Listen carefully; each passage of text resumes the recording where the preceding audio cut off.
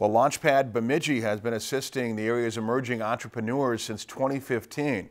Since then, the Launchpad's membership has grown so much that it has outgrown its current space and is ready to invest in its future. Launchpad Bemidji is expanding to the basement level of Bemidji's Mayflower building. The construction project is expected to begin later this month and finish within the next couple of months. The idea is to utilize the space to provide more amenities and workspace for entrepreneurs so that they can focus on their work in a professional setting. More flexible workspace, some other amenities like a, a kitchen, um, some recreational space, other meeting spaces. The meeting space is pretty huge because that seems to be um, a, an attractive feature of the space where people can come and gather, collaborate, and, and meet with others and their clients or um, partners. So we're going to add more space like that to the building.